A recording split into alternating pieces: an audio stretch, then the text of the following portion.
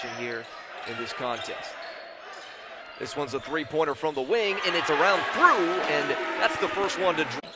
It's interesting, too, because the Black Bears definitely had some size advantage.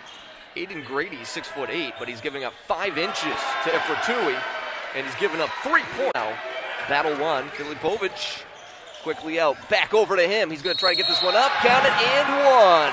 Big time basket Nice from the Hungarian go. native. Shot clock at 20.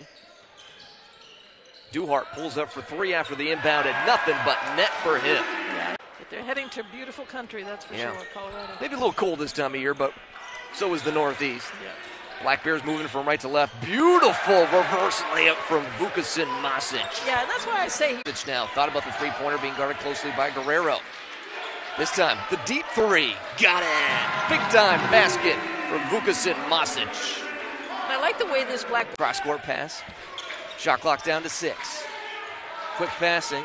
Masic for the corner three. Got it again. Third three pointer for Vukasin Masic. And that was from that touch assist pass from Fearbirds that created that shot. Bears have a pretty significant lead. Pocket pick. Turget with a high lofting one. Adetogun finger rolls it in for two, and a timeout will be called. Black Bears open right by way of a pass. Up and under to Efratui, who rocks the rim with the jam. That's just a great pass. Here's Petty. Pass will go in the backcourt.